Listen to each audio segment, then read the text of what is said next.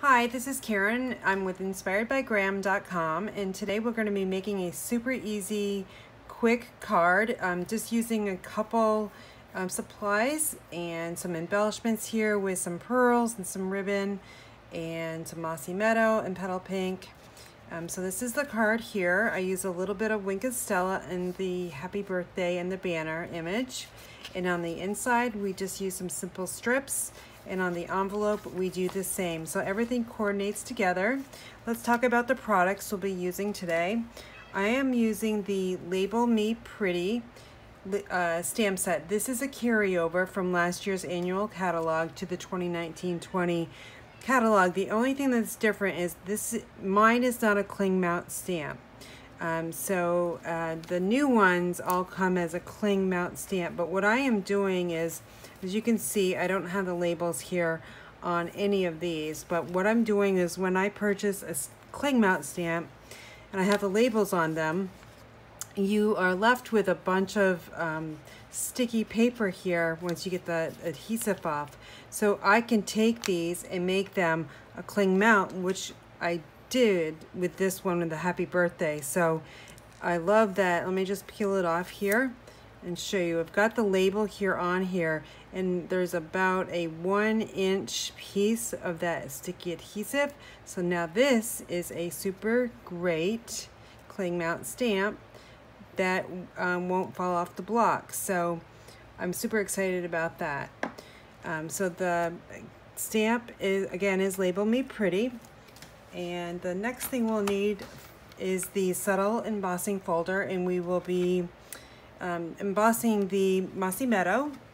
The designer series paper is the beautiful Magnolia Lane paper.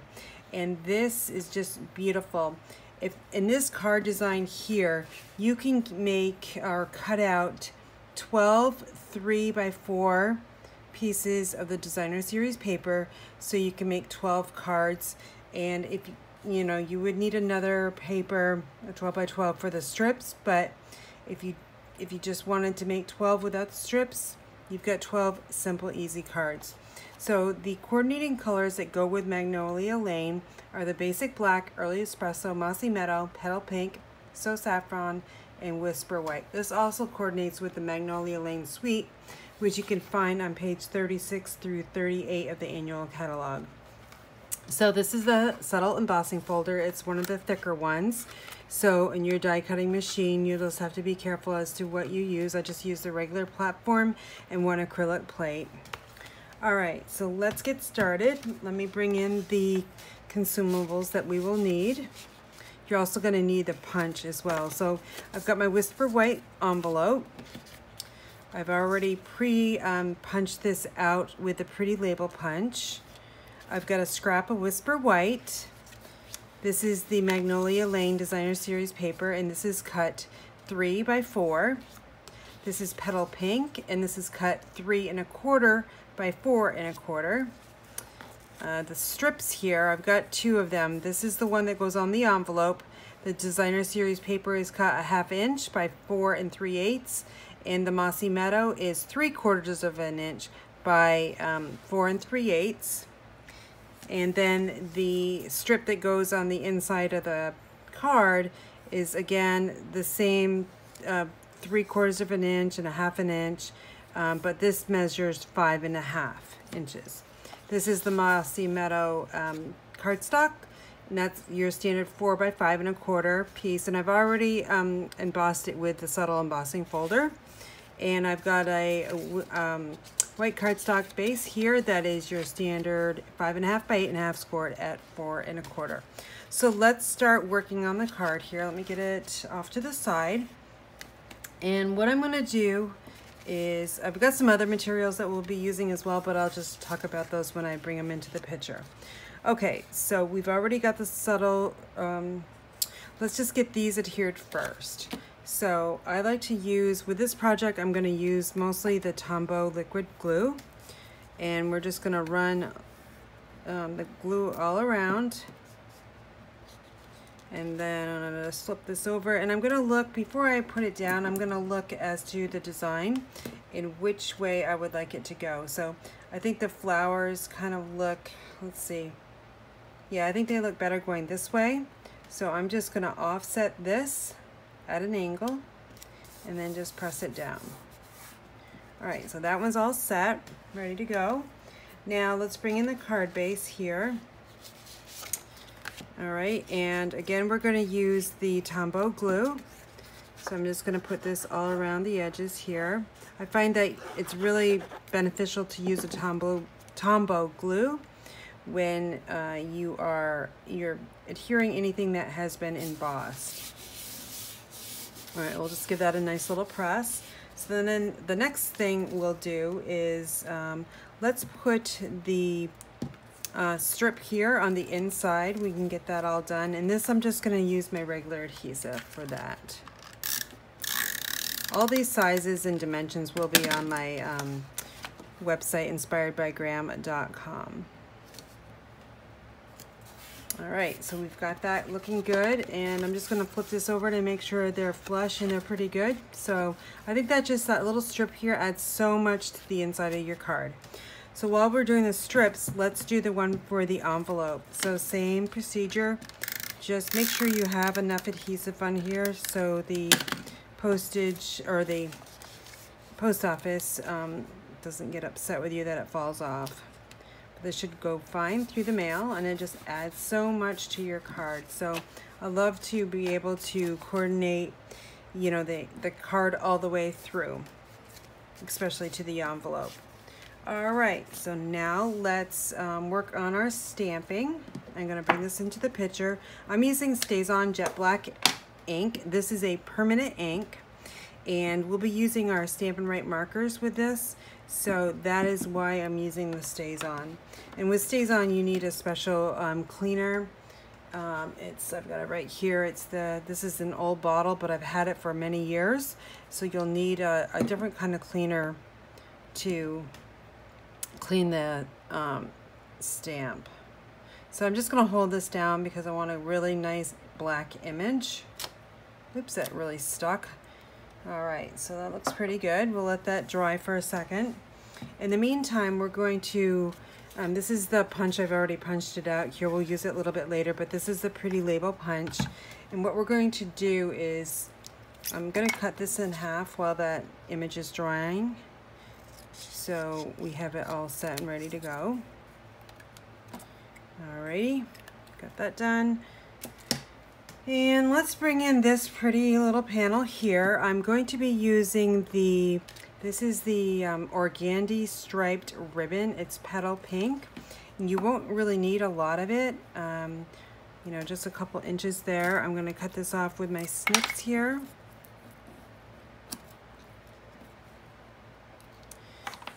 And I like this ribbon because you can really see through to the designer series paper. So what I'm going to do is just going to flip this over. We're going to use our regular adhesive and just put a little bit on each side.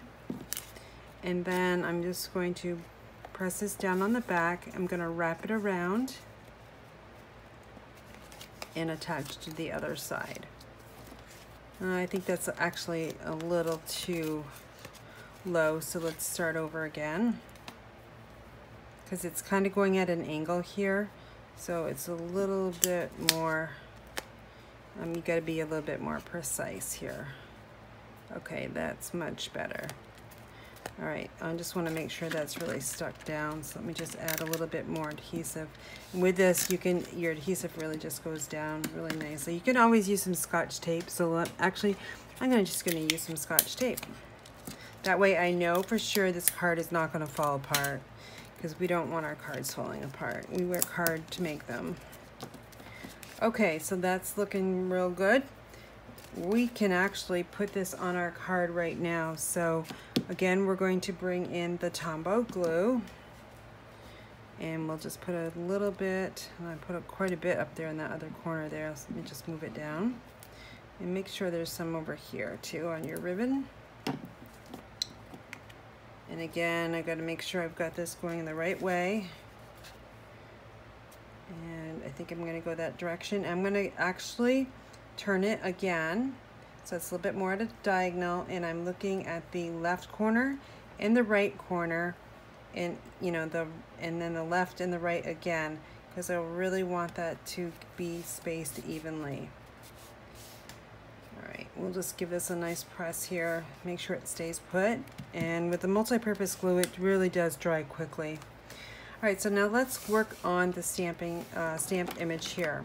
So the markers I have here are Petal Pink, and this is Pear Pizzazz. I wanted a lighter shade of green because the green that's in the uh, designer series paper, that is Mossy Meadow, and I find that um, Mossy Meadow is just going to be way too dark for this image here. And in the stamp set, I don't know if you really noticed, um, any of the stamps that are in the stamp set, let me just bring it in again, will work with this card. So very versatile stamp. Um, so with this card design, anything will really go from there. So I'm just going to try to go as fast as I can because I don't speed up my um, my filming one because I don't edit and if I make a mistake, I want you to see how I fix my mistakes because I think that's important. Uh, I've learned a lot from other fellow demonstrators um, when they're authentic and show us, you know, we all make mistakes and that's how we learn from each other. So I appreciate those demonstrators that show us how to fix mistakes. All right, I'm just gonna pretend that's a flower up here because I want to just want to get some pink up there. And let me see, let's do this one right here too. There's no right or wrong way to color. All right, I think, let's get a little bit up in here too. All right, so now what we're going to do is we're going to bring in the pair of Pizzazz. We'll go back to the petal pink in a little bit, but I want to get the green down. And there's I, I really like working with the the brush tip just because I don't have a lot of patience. So um, I find it's a little bit quicker. And then what I'm gonna do is I'm kind of like dabbing right here but um, I will come back with the fine tip to fill in. Okay and I think what I'm gonna, oh, I missed a flower right there. How did I not see that? See, once you start coloring in, you kind of see what you missed. So let's go back to the petal pink here and get this flower here. And I think I'm gonna change this one up a little bit. Let me just bring in the original card. If you can see here, I um, colored this with petal pink. I'm gonna color it with the, um, the Pear Pizzazz, just to add a little um, difference to the card and we can kind of see um, if the, that color will work. All right, so let's bring the green back in. Okay, so now I'm gonna switch over to the very fine tip here. Again, this, it doesn't fill in as fast, which is like for me, I just like to get it done. Do a good job, but get it done quickly especially these fine little areas here. Okay, so, whoops, there's a leaf up there. I'm gonna switch that pen over, or marker. All right, so now I'm gonna color this in with a green, like I said I was going to.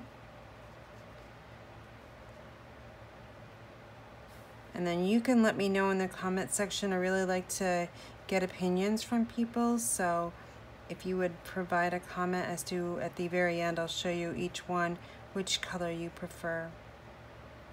Okay, so now that the ink is still semi-wet, we're going to bring in the Wink of Stella. And I'm going to just add some Wink of Stella into the white banner here, just to add a little bit of glitter there. And I'm also going to bring it down here into the Pear Pizzazz part of the banner. Okay, let me just bring this up to the camera. Really not sure if you can see it or not, but I can see it and it looks really pretty. All right, so we are done with the Wink of Stella. We'll get the pens out of the way. And now we're going to um, get the Pretty Label Punch. I love punches. Just makes it so easy. All right, this is a pretty small piece, but think I've got it right there. All right, so there we go. We can recycle that or use it for another project. All right, so the two pieces of the black that we cut out ahead of time, I'm gonna flip this over and I'm gonna add adhesive to the label. And now I'm going to just take these pieces and this is just, I'm adding a little bit of a border so it will stand out on your card a little bit um, better than just normal. Just think the label really neat. Oops, I wanted, needed a little bit of something. So, so you can see it just adds a lot to it. All right, we'll add Stampin' Dimensionals on the back side of here. And I've just got bits and pieces here. You'll need about, depending on how big, I'm using the excess ones on the side. Um, I guess me see. I think it'll be okay. I don't think I need one in the middle, so we'll just spare that last one on that sheet, and we'll just remove the backings real quick. You can really uh, mass produce this card so quickly. All right, so I'm going to put this straight, though. Okay, so there we go. There's our card. And here's our envelope. One ink color StazOn black. We all have black, so make sure when you're using your Stampin' Write markers that you use a permanent black ink. And so here's the one with the Pear Pizzazz. And here's the one, oh, you know what I forgot? Oh my goodness. I totally forgot the pearls. If you noticed here, I have I used three pearls and I just thought it would just add this nice touch. So let's get my pearls here. And we're gonna use one of each size. So I'm gonna just put them in the black areas. Just two, two up there and on a little small one down here. There we go. Now it's complete. Sorry about that. All right, so here's the Pear Pizzazz card, and here's the one with Petal Pink. So you'll just have to let me know which one you like, Pear Pizzazz or Petal Pink. Please comment below, and please hit the subscribe button if you're a new uh, watcher. And if you're a returning watcher, thanks for coming back to my channel. Have a great night.